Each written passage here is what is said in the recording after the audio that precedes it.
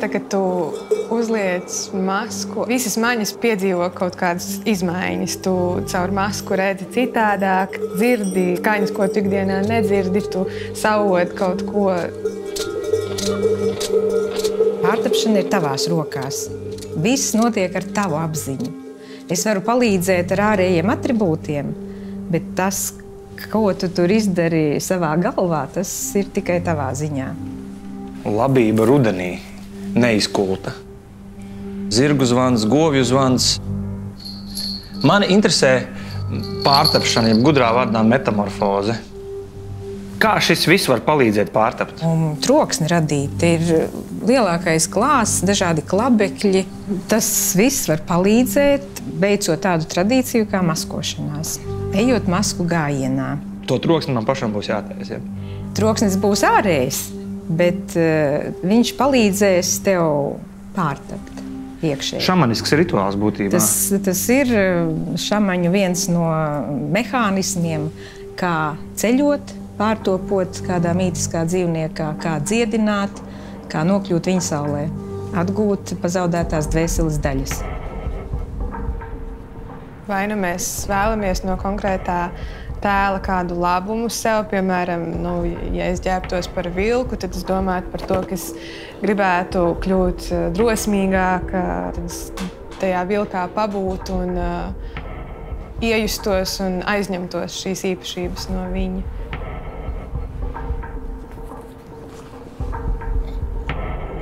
Tu būsi dzērve, ja? Jā. Kas ir dzērve? Dzērve ir putns, kurš atkal spējīgs ceļot starp pasaulēm, starp šo sauli un viņa sauli. Pārcēlājs. Dzērve ir pārcēlājs. Tāpat kā dabā viņa ir gaiputns, kas kādu laiku mums ir redzams, dzīvo šeit, pēc tam viņš aizlido un nav redzams. Viņš dodas uz citu pasauli. Viņa atnes arī auglību meitām, kurām dzērve ieknāpj, viņas noteikti tai gadā maska dzērve ieknāpj. Viņas noteikti gadā apprecēsies. Vai nozaksies? Ja šo knābi ieknāpj, apaugļo. Apaugļo, jā. Nu, viņš tam priekšā sasies. Jā, mēs pārtopam vai nu par kādu mītisko dzīvnieku, vai par nu, kādu mūsu eh, senci. Tas atslēgas moments tajā pārtapšanā ir tas, ka mēs pazaudējam, mēs atsakāmies no sevis un mēs pārtopam tajā tēlā, kuru mēs velkam sev virsū. Trešais, mēs izmainām apziņu. Mēs nepaliekam tajā es pats. Un kā mēs tiekam atpakaļ pēc tam? Mēs kļūstam cits. Mēs tiekam atpakaļ pēc tam? Mēs tiekam atpakaļ, novelkot masku. Tiekam un atgriežamies labākā sevis versijā pēc šī notikuma. Mūsu nu, platumgrādos vilks ko nozīmē? Vilks ir vīrietis, vilks ir precinieks. Precinieks? Vilks ir karavīrs. Vilks drīkst būt ar sliktu redzi? Nē, vilkam ir laba redzes, laba oža. Ja vienu maņu noņem, tad pārējās pastiprinās. Ja? Vilks ir arī ceļotājs uz viņa sauli. Dzīvnieks, kurš atnes auglību. Nu, vīrietim piestāv pārtapt par vilku. Ja atceramies, ka senajiem indoeiropiešiem katrs puisis sasniedzot noteiktu vecumu, um, saņēma iniciāciju Un tā iniciācija varēja notikt tikai iemācoties pārtapt par vilku. Vispār es sevi precētu. Jau. Jau? Jā.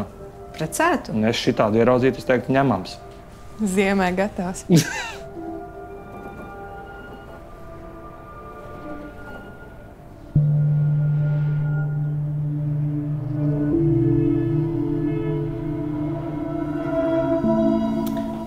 redz, ir paveicies ar to, ka es visu dzīvi esmu klātesošs tai tradīcijai. Un uh, vienā brīdī, mūsdienās dzīvojošs cilvēks uh, sāk domāt, kā, kā tas iet kopā ar to manu ikdienišķo, kā viņus uh, pietuvināt jā, vienam otram to mūsdienīgo būšanu un to tradīcijas bagātību. Ko, piemēram, darītu senā sieviete, ieraugot moderno sievieti, kas liek tur gurķīšus uz sejas un krēmiņus un, un vi, vien- visu kosmētiku? Droši vien domāt, kas tu esi pa tēlu, vai tu esi kaut kāds tur vecītis. Vai... Nē, nu skaistums sievietei vienmēr ir bijis svarīgs. Viņas pucējās visos laikos. Un tad, tad, tad pucēšanās no maskošanās, kur uh, aiziet katru savu ceļu? Tad, tad pucējas meitene konkrēti kādā vārdā. Tā ir viņa. Piemēram, Aurēlija.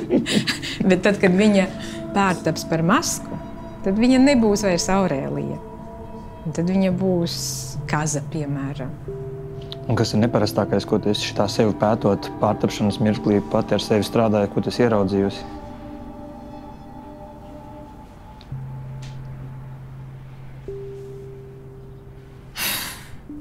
Tu jautā ļoti konkrētas lietas, kuras dažreiz pat nevar ietērpt vārdos. Viņas vienkārši notiek un ir jāsajūt.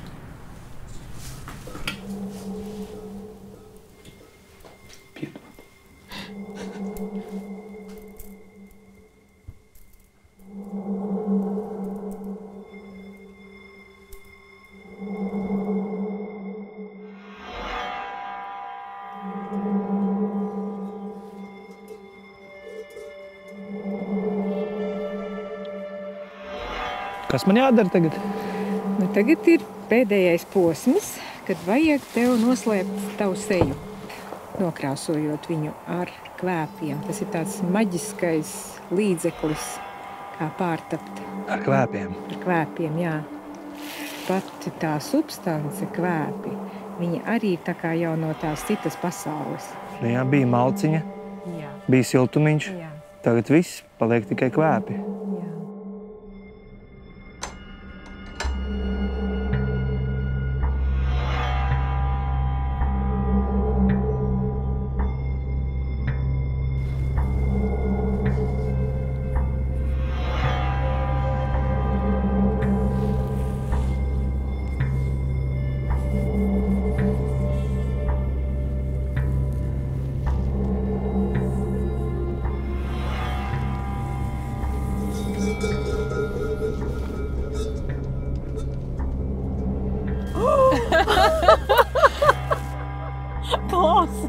Jā. Bija jābūt bail, nevis jā, jautri.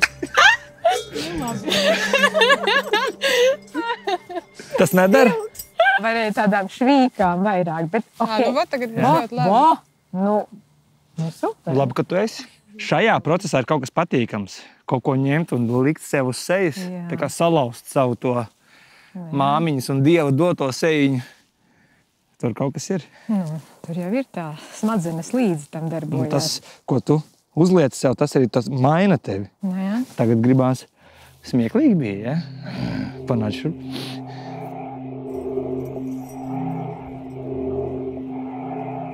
jā, un tad, kad tā būs vēl kāda vēl virsū, tad tevi iemājos tas vilka gars. Jo, ja ir kaut kāda substance no tā dzīvnieka, vai asins, vai āda, vai kāds kauls, jā, tā, tā apziņa tad tā kā pieņem to citu identitāti vieglāk. Patīkami. Ļoti.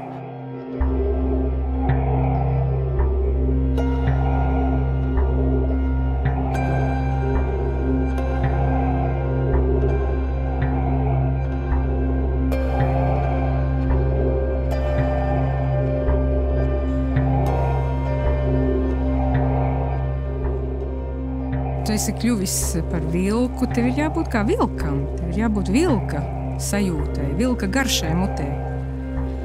Kazaņu varētu. Jā,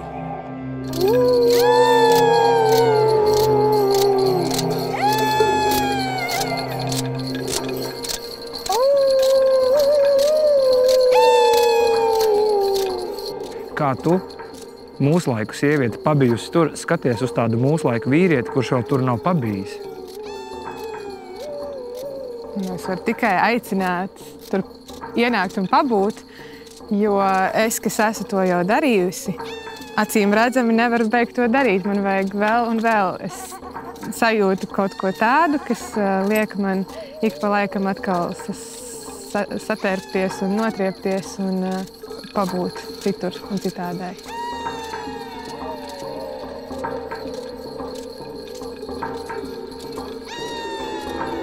Tas ar to, ar to savu to dienas apziņu, tu ģērbies, redzi sevi spogulī, ar, ar prātu kaut kam izsako, bet tad tu nonāc tumšākos ūdeņos.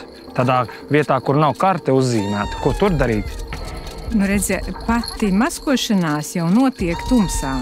Tikai tad, kad eh, diena ir beigusies, tad, tad sākās tā pārtapšana. Izdari savas darbības, atnes to svētību, auglību citiem, pats arī viņu dabū, un tad tu pārvērties atpakaļ.